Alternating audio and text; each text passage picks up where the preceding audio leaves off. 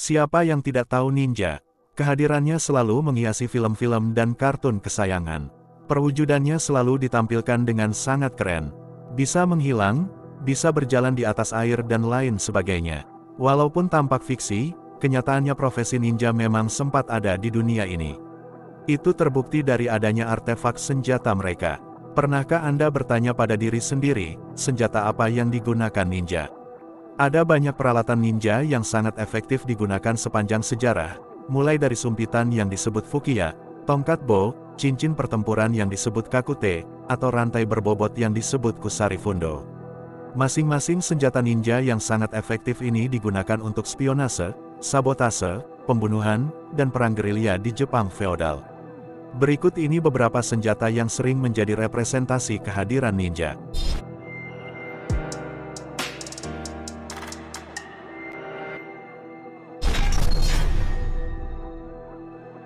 Tekokagi, kita semua telah melihat seberapa besar kerusakan yang dapat dilakukan oleh mutan Kanada yang marah dengan cakar logam. Sekarang bayangkan mereka, atau sesuatu yang serupa, di tangan seorang ninja yang sangat terlatih dan sangat terampil. Senjata yang berbentuk seperti cakar beruang ini, awalnya adalah alat panen yang digunakan oleh petani, namun para ninja melihat potensi buruknya. Teko Kagi bagus dalam bertahan dan dapat dengan mudah memblokir serangan masuk, dan digunakan untuk menjerat pedang lawan untuk melucuti senjata mereka. Mereka juga mengizinkan gerakan tangan yang alami, yang berarti seorang ninja dapat bergerak lebih cepat dan memberikan kerusakan dengan mudah.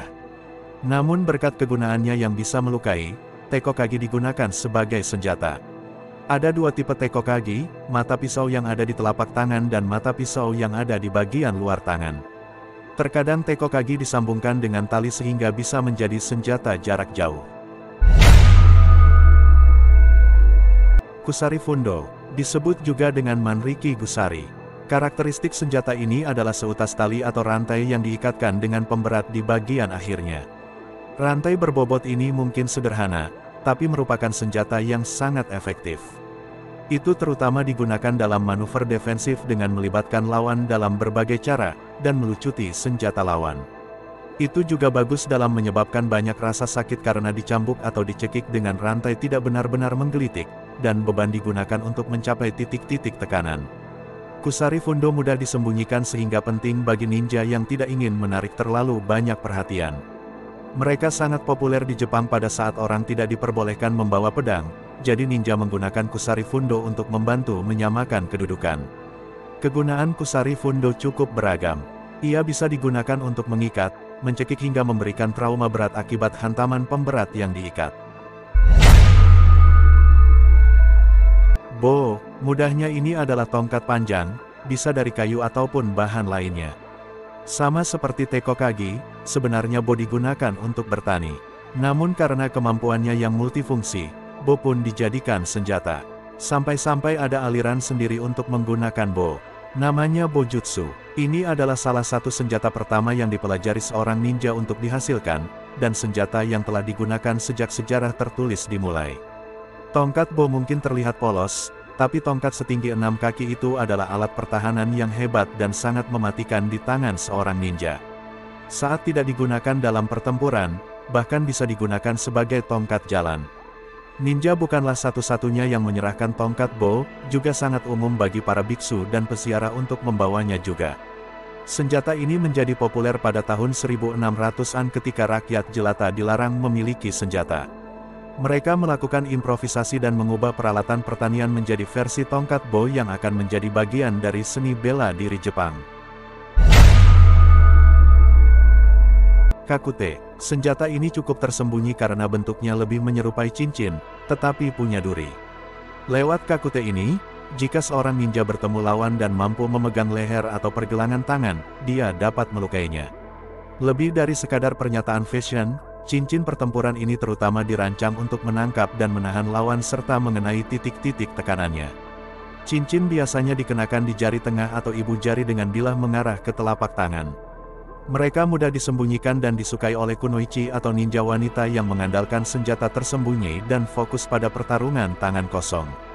Seorang kunoichi bisa menggunakan kakute di leher lawan dalam serangan sembunyi-sembunyi dan ujungnya bisa dibubuhi racun untuk memastikan itu mematikan. Ninja terkadang memakai beberapa kakute agar pukulan mereka menghasilkan lebih banyak kerusakan. Tujuan senjata ini bukan untuk membunuh, melainkan hanya memberi kesempatan dan waktu untuk melarikan diri. Kama Kama dapat digambarkan sebagai bilah melengkung menyeramkan dari Grim Reaper yang memenuhi efisiensi ninja, yang menjadikannya senjata yang benar-benar ditempa dalam mimpi buruk. Kama awalnya digunakan untuk memotong rumput dan memanen tanaman. Namun ketika rakyat jelata dilarang memiliki senjata, mereka harus berimprovisasi, seperti yang mereka lakukan terhadap staff bow. Kama bagus dalam bertahan, tetapi jika seorang ninja ingin melakukan serangan ofensif habis-habisan, dua kama lebih baik daripada satu. Pada dasarnya seorang ninja akan membungkuk dan menebas dengan kamanya sambil berlari ke arah lawannya, menakutkan, mematikan, dan efisien. Anda mungkin mengenali kama dari Battle Royale, karena kama tersebut diberikan kepada Mitsuko, salah satu pembunuh paling antusias dalam film tersebut. Fukia, bayangkan ini, Anda dengan polosnya berjalan melewati hutan dan tiba-tiba Anda merasakan cubitan tajam di leher Anda, dan kemudian tidak ada apa-apa. Anda terbangun beberapa jam kemudian dan bertanya-tanya, apa itu tadi? Nah, kamu terkena tembakan panah dari Fukia, sumpitan favorit para ninja. Fukia di masa lalu adalah tabung bambu yang sangat sederhana yang juga bisa digunakan sebagai snorkel sehingga ninja bisa bersembunyi dan bernapas di bawah air. Itu adalah senjata siluman yang sempurna karena kecil, mudah disembunyikan, dan senyap. Jika tidak digunakan untuk mengalihkan perhatian, ujung anak panahnya dilapisi racun yang kuat sehingga seorang ninja dapat dengan cepat menghabisi musuh sebelum dia sempat membunyikan alarm. Kusarigama, ingat Kama, dan Kusari Fundo. Kusarigama adalah gabungan dari Kama dan Kusari, para ninja memutuskan untuk mengambil masing-masing langkah ini lebih jauh, dengan menyatukannya. Ada berbagai taktik berbeda yang tersedia bagi pengguna Kusarigama. Ninja bisa menggunakan rantai untuk menjerat lawan dan kemudian menggunakan sabit sebagai jurus lanjutannya. Ninja juga bisa mengayunkan sabit pada rantai seperti lasso yang mematikan, secara efektif menjaga jarak antara dirinya dan lawannya. Kusarigama pasti mendapat poin gaya karena menjadi senjata mematikan yang efisien. Cara menggunakan senjata ini bervariasi. Ia bisa digunakan untuk pertarungan jarak dekat, tetapi juga bisa untuk jarak jauh. Kusarigama tidak hanya digunakan oleh ninja, tetapi juga profesi lain, seperti samurai. Kunai Kunai awalnya hanyalah alat berkebun biasa, tetapi karena harganya murah dan dapat ditemukan di mana-mana, para ninja mengubahnya menjadi senjata yang berguna. Kunai memiliki banyak kegunaan bagi seorang ninja yang sedang mencari mangsa, mereka bisa dilempar untuk pertarungan jarak jauh, digunakan dalam pertarungan jarak pendek, dan bisa digunakan sebagai alat pendakian. Kunai membutuhkan banyak keterampilan untuk menggunakannya. Ninja harus berlatih tanpa kenal lelah untuk menguasai seni ini, dan meskipun Lee Christmas membuatnya terlihat mudah, kami tidak menyarankan melempar kunai di rumah. Metsubushi ini bukan dealer mobil, tapi semprotan merica dunia shinobi. Metsubushi adalah bubuk yang digunakan untuk membutakan lawan, memberikan waktu bagi ninja untuk melarikan diri atau bahkan membunuh. Bubuknya bisa terdiri dari tepung, abu, merica, pasir, debu dan, atau benda lain yang tidak ingin Anda lihat. Ada beberapa cara menyampaikan Metsubushi. Metode yang populer adalah menyimpan bubuk tersebut di dalam telur berlubang yang dibungkus kertas. Telur kemudian akan dihancurkan dan bubuknya disebarkan. Metode lain termasuk kotak dengan lubang tiupan dan saluran keluar. Sebagai alternatif, ninja juga bisa menyimpan bubuk tersebut di sarung pedangnya sehingga mereka siap menghadapi serangan mendadak apa pun yang mungkin menghadang mereka. Suriken, senjata paling terkenal dari dunia ninja. Ada banyak tipe suriken, tapi yang paling awam yaitu berbentuk bintang dengan empat bilah pisau. Kegunaannya bervariasi, tergantung dari situasi dan kondisi yang sedang dialaminya. Tidak ada persenjataan ninja yang lengkap tanpa suriken.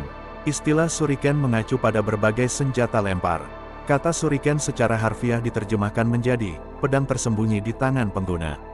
Suriken yang paling diasosiasikan dengan ninja adalah Hira Suriken, yang menyerupai bintang dan hadir dalam berbagai bentuk dan ukuran. Suriken digunakan sebagai alat pengalih perhatian, memaksa musuh untuk menghindar, sekaligus memberikan kesempatan kepada ninja untuk menyerang. Meskipun demikian, seorang ninja yang terlatih dapat menimbulkan kerusakan serius dengan shuriken yang tepat sasaran dan berpotensi mematikan.